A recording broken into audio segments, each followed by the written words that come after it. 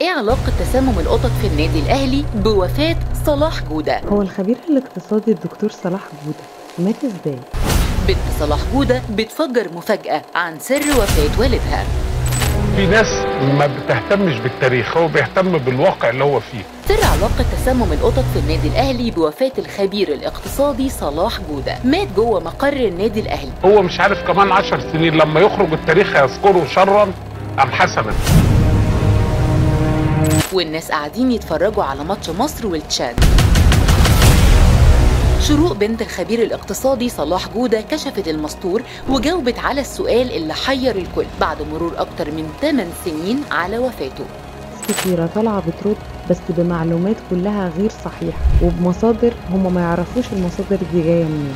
يا ترى قالت إيه؟ وإيه علاقة تسمم القطط بوفاته؟ هل القطط كانت زعلانة عليه ولا هو اللي زعل على وفاة القطط؟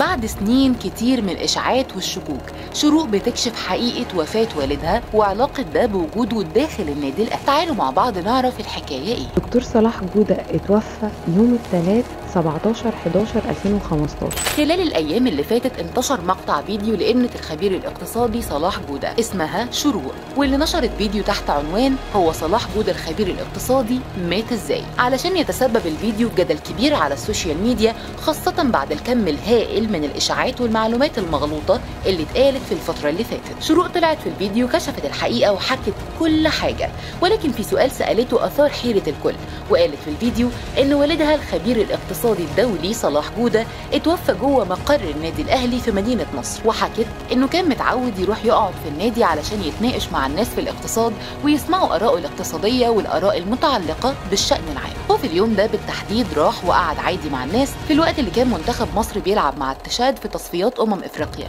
والماتش ده كان مهم جدا ومحدش كان مركز في أي حاجة تانية. وفي وسط ما كان قاعد بيتكلم وبيهزر وبيضحك مع الناس فجأة رجع براسه لورا وبعدها طلع لقدام وبدأ ينزل رغاوي كتير من بقه. مش بس كده كمان فقد النطق علشان يقوم الناس اللي كانوا قاعدين معاه ويستغيثوا بكل اللي حواليهم. يا جماعة الحقونا. لكن للأسف الكل كان مشغول بالماتش ومحدش سمعهم ولا ساعدهم. ولأن والدها كان ملوش في ماتشات الكورة كان دايما بيروح النادي بيقعد في مكان بعيد عن شاشات العرض. وبعد حوالي ربع ساعة وصل دكتور النادي وبلغهم إنهم لازم ينقلوه للمستشفى فورا. وفعلا نقلوه لأقرب مستشفى وهي مستشفى نادي الطيران.